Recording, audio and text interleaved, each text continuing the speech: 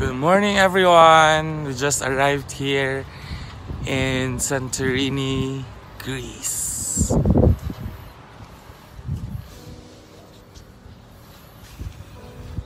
Ta-da!